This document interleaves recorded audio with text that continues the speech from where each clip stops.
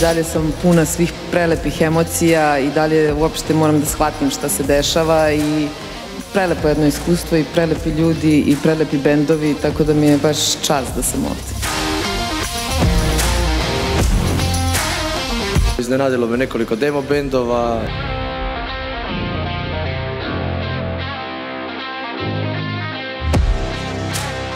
Premašilo je svaka očekivanja, demo bendovi su bili super, publika je bila super, sve je štimalo, sve je funkcioniralo i dilit pozornicu sa ovim demo bendovima je bila čast.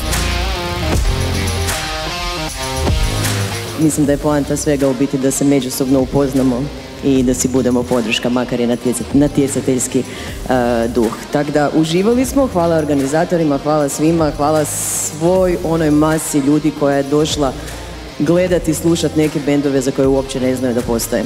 A mi smo se osjećali kao da smo carevi.